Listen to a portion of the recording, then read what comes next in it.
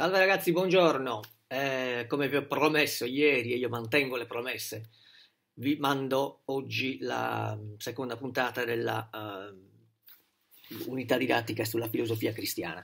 Eravamo arrivati a parlare l'ultima volta del neoplatonismo e della situazione in generale che c'era uh, nell'impero romano tardo impero romano nel III secolo d.C., quando la religione cristiana era ancora proibita, eh, illegale, quindi di tanto in tanto subiva persecuzioni anche gravi, ma al tempo stesso in, tutto, uh, la, tutta la cultura del tardo impero, sia cristiana sia pagana, si stavano diffondendo certe idee, appunto uh, quelle eh, neoplatoniche, le quali vedevano uh, un unico Dio come eh, centro e cuore dell'universo, Dio che veniva interpretato in modi diversi ovviamente dai cristiani e dai pagani, nel senso che eh, in ambito pagano questo principio supremo del neoplatonismo veniva chiamato con altri nomi, ad esempio Plotino lo chiamava uno, mentre i cristiani ovviamente lo chiamano Dio perché essi eh, leggono tutto tramite la rivelazione delle sacre scritture e in particolare la rivelazione di Gesù Cristo. Nel eh, IV secolo, per l'esattezza nell'anno 313 d.C., la religione cristiana cessa di essere illegale.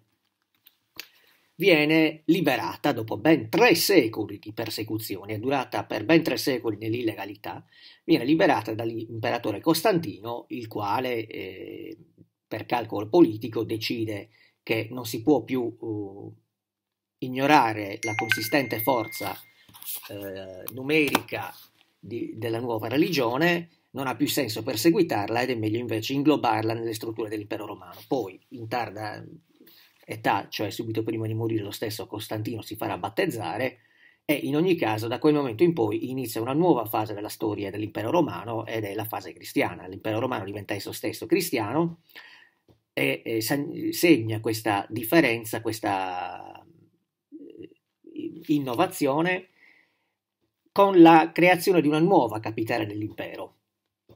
Costantinopoli, situata in Oriente, dove c'erano molti più cristiani che in Occidente, eh, e l'impero romano acquisisce quindi una seconda capitale, d'ora in avanti avrà due capitali, Costantinopoli e Roma, e eh, dopo una, altri due secoli la parte romana dell'impero addirittura si sfascerà e dell'impero resterà solo la parte orientale, cioè Costantinopoli.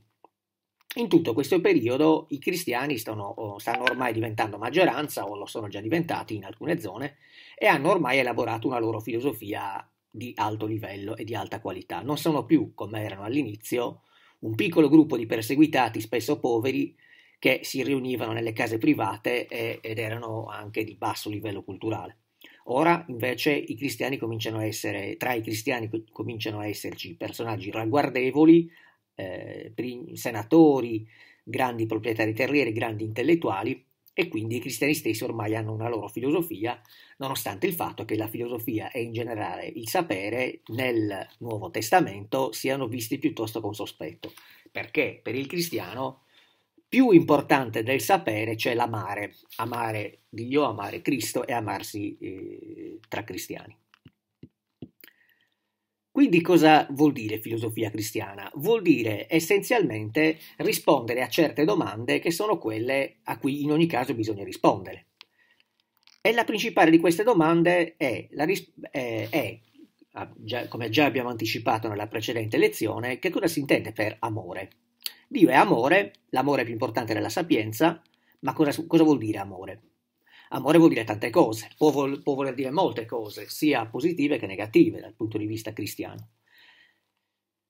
E questo ehm, pone un'altra domanda a sua volta. Se Dio ama, e se noi possiamo amare Dio, come, in che modo possiamo farlo? In che modo possiamo entrare in contatto con un'entità come Dio che non si vede, che è accessibile soltanto agli occhi della mente e forse nemmeno a quelli, e che si manifesta eh, per speculum et in enigmate, dice San Paolo, cioè tramite enigmi, in modo dis- misterioso, si vede e non si vede. Noi ne vediamo gli effetti, ma li vediamo come distorti attraverso uno specchio una lente. Questo vuol dire l'espressione per speculum et in enigmate. La, rispo- la prima risposta che danno i cristiani è il dogma trinitario. Il dogma, cioè l'opinione consolidata dalla Chiesa e accettata dalla Chiesa, se non credi in questa opinione non, pu- non, puoi dirti appartenenti alla Chiesa, quindi non puoi dirti cristiano, il dogma che Dio è uno e trino, Padre, Figlio e Spirito Santo. Dogma che viene consolidato eh, da un'assemblea di vescovi chiamata concilio che si, che si svolge in una città orientale chiamata Nicea sotto la presidenza e l'iniziativa dell'imperatore Costantino che abbiamo già visto. L'imperatore Costantino convoca i vescovi di tutta la cristianità, li fa riunire tutti a Nicea e i, questo concilio elabora la dottrina trinitaria del fatto che Dio è uno ed è anche trino. E questa è la risposta a cosa sia l'amore di Dio. È una risposta molto filosofica, contiene un nucleo filosofico anche abbastanza arduo e che, per capire il quale bisogna però tornare al neoplatonismo. Il neoplatonismo dice che Dio è uno, l'unità dell'universo, ma questo Dio uno, così come i fiori emettono un profumo, emette, emana l'universo, la creazione. Che rapporto c'è tra questo uno e il suo universo? C'è un rapporto di uguaglianza e differenza al tempo stesso, nel senso che l'universo che viene emanato da Dio somiglia a Dio, in qualche modo eh, porta a Dio così come il profumo del fiore porta al fiore, ma non è Dio così come il profumo del fiore non è il fiore. Questo rapporto che unisce i due termini, e cioè Dio e la creazione, cioè noi, è un rapporto d'amore, nel senso che tra i due c'è una eh, somiglianza, i due si cercano tra di loro. E in particolare il nostro basso e triste e infelice mondo creato, pieno di peccato, di male, di morte, cerca Dio e cerca la sua fonte, cerca di riavvicinarsi alla sua fonte. Lo cerca continuamente. Il, eh, Dio stesso è, cerca l'universo e questo è il motivo per cui lo ha creato. Egli non solo eh, non è soltanto un, sì, un, essere trascendente, supremo, isolato, lontano, eh, ma è un essere che, pur essendo Dio creatore, non avendo bisogno di nulla, ha bisogno però di amare. Nonostante Dio non abbia bisogno di nulla, ha bisogno di amare, perché è lui stesso, nella sua essenza, che ha bisogno di avere rapporti, relazioni. Ecco perché è uno e trino.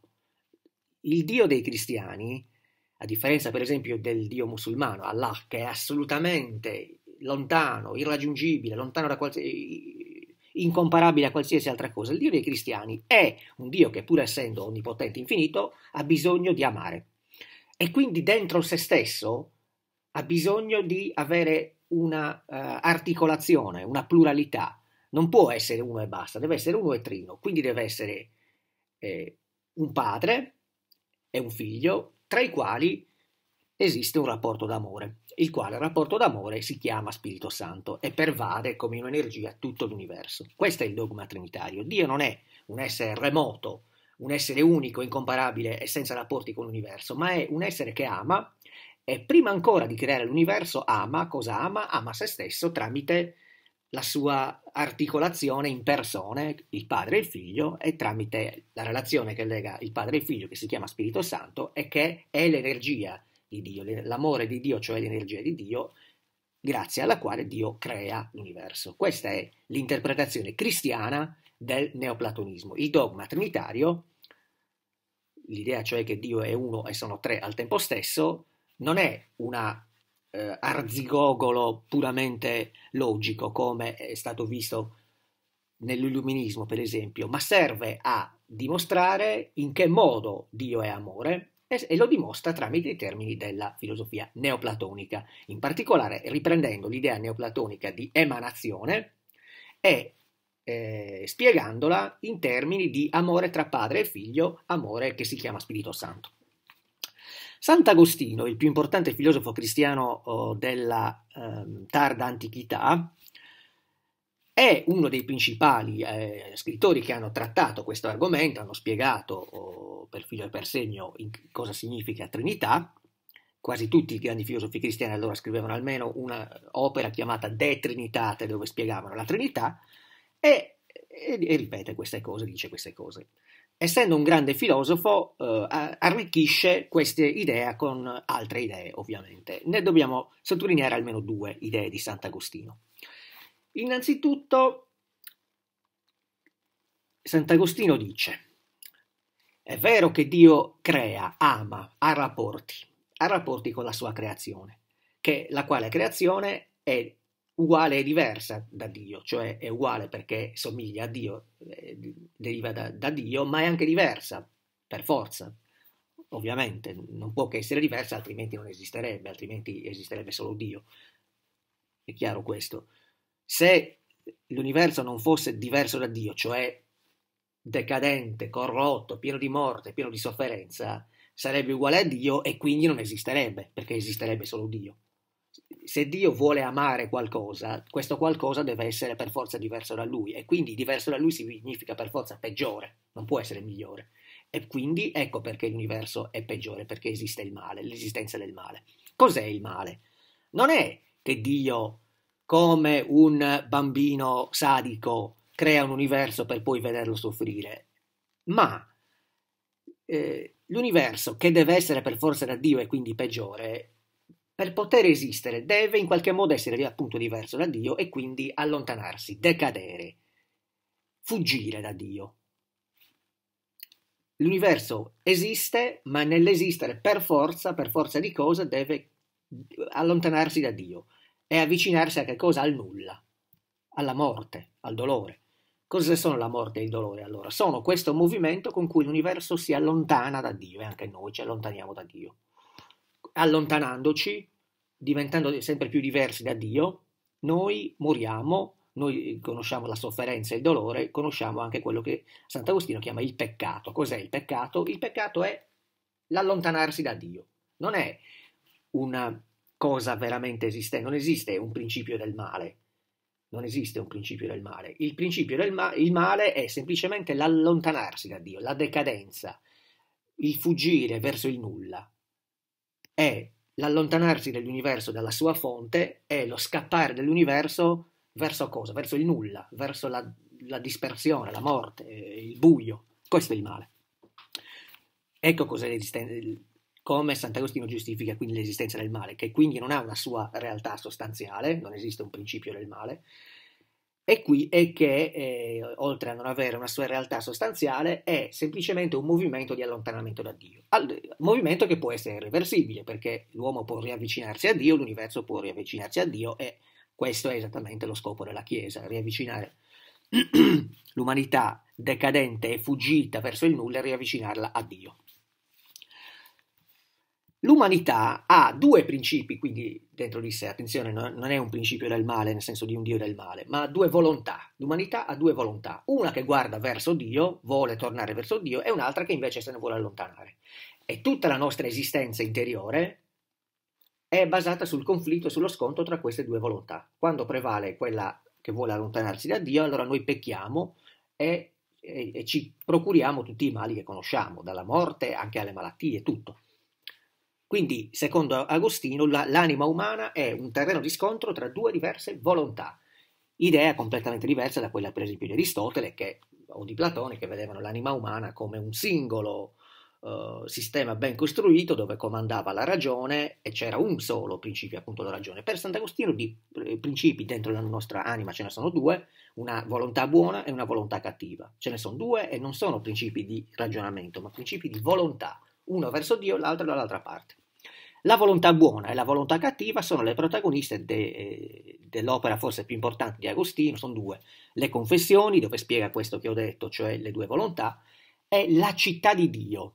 Città di Dio, eh, nella città di Dio Agostino spiega che queste due volontà sono sempre presenti nella storia umana, una verso il bene e l'altra verso il male, una verso Dio e l'altra verso il nulla, e, e quindi materialmente si manifestano come due città terrene, una corrotta, che sarebbe poi la Roma pagana, la, la Roma che perseguitava i cristiani, e una pura, che è la Chiesa.